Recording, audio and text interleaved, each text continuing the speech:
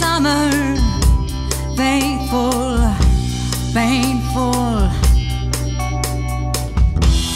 Silence and darkness, and we were left bleeding, breathless, anxious, hopeless.